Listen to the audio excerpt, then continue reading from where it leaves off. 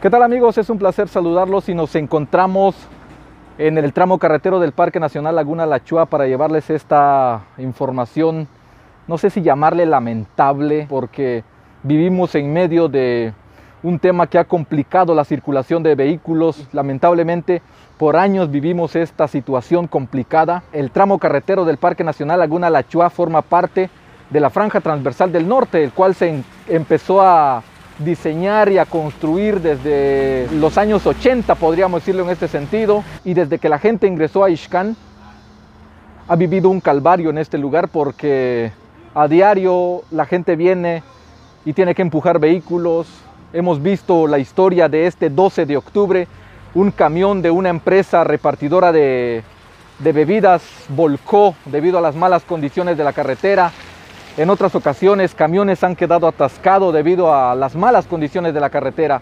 La gente ha tenido que caminar tramos muchas veces porque los vehículos no pasan. La gente tiene que transbordar. En época de lluvia, los arroyos que atraviesan la carretera incrementan su caudal y también la gente tiene que esperar.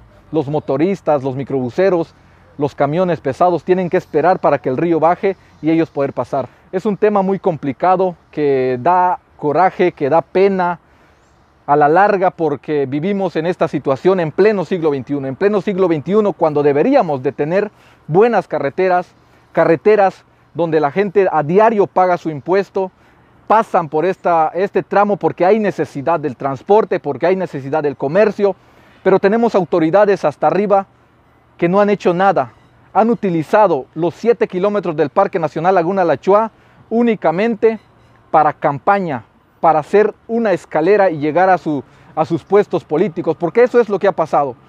Durante años, estamos en pleno 2021, 2022 y 2023 ya se viene la campaña y van a recordar esta parte porque en el 2022 y 2023 van a volver a tomar este tema los políticos. Van a decir que van a arreglar y ha pasado por años. En el 2019, en el 2018 hicieron lo mismo. Llegaron a ofrecer carretera, a ofrecer que este tramo le iban a dar conclusión lo más pronto posible. Y mire, estamos acá 12 de octubre del 2021 y esta carretera no hay esperanzas de que se concluya. Es un tramo de 7 kilómetros que inicialmente tuvo su problema porque habían temas legales, temas de medio ambiente que podrían afectar si se, se ponía el asfalto. Posteriormente se hicieron las gestiones supuestamente para que a este tramo se le dé un estudio de impacto ambiental para no poder afectar la fauna y la flora al momento de tirar este, el asfalto. Sin embargo, han pasado dos años desde la última vez que se hizo un estudio y no hay nada. En julio del año 2020, el ministro de Comunicaciones de ese entonces, Edmundo Lemus, vino junto al presidente de la República al puente sobre el río Chixoy y dijeron que estaban haciendo las gestiones para que lo más pronto posible este tramo del Parque Nacional Laguna Lachua sea construida en su totalidad. Ha pasado más de un año y seguimos en las mismas.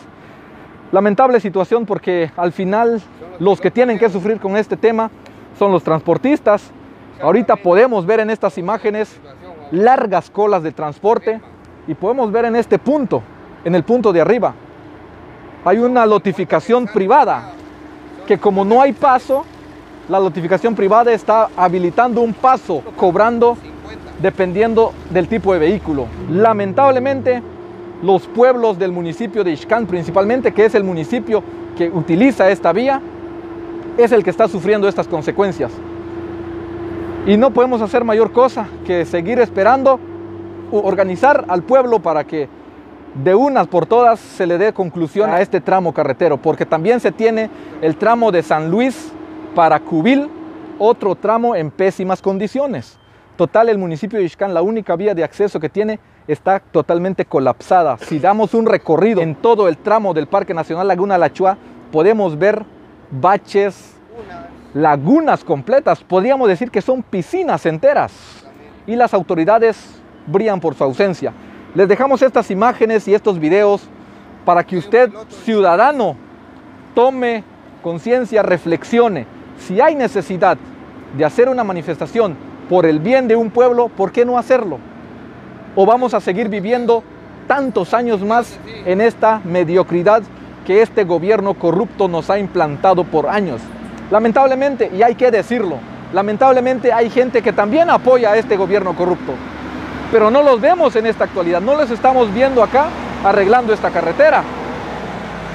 Nosotros con esto nos despedimos y dejamos a, criterio de ustedes, formule su comentario acá abajo, déjenos su comentario positivo, constructivo, para que juntos veamos una solución a este tema.